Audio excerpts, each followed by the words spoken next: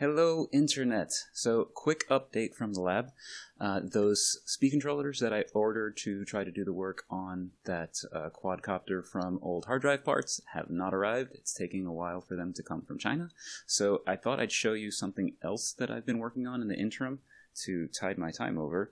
Uh, some of you, maybe some of the older folks, if I don't reveal my age, uh, might recognize this guy. This is a Sword of Omens. It's a prop I've been working on uh, for 3D printing. And it's got a detachable blade here because I have a couple of things I want to do for it, not just as a standard prop, but I have worked on a replacement blade with a magnet, cutaway to refrigerator.